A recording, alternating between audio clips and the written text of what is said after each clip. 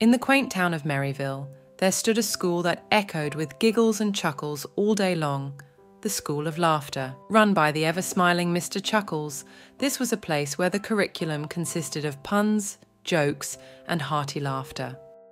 One sunny morning, a new student named Timmy timidly stepped through the gates.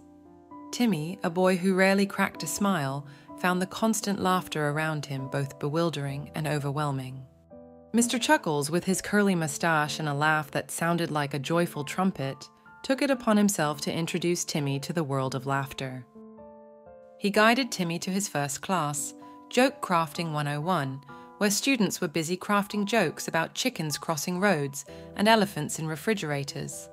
Timmy felt out of place among his peers, whose laughter filled the air like melodious music. Next was The Science of Giggles, where Mrs. Snort, the teacher, explained how laughter could light up the darkest of days. Timmy, intrigued, started to loosen up, his eyebrows raising in curiosity for the first time. In History of Comedy, Timmy heard tales of legendary comedians who had the power to make entire nations laugh.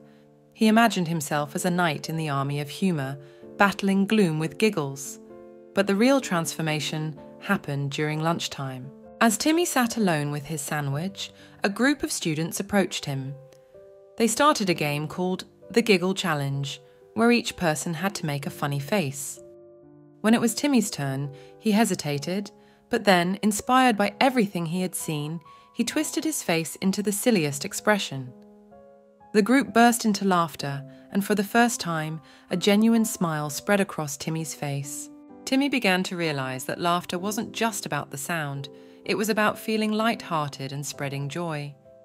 He started participating eagerly in class, his jokes getting better by the day. He even volunteered to be the clown in the school play, where his comical antics had everyone in stitches.